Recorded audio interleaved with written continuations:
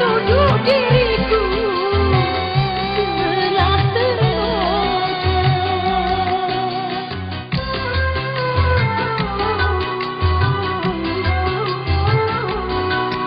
Walau aku telah bersumpah atas nama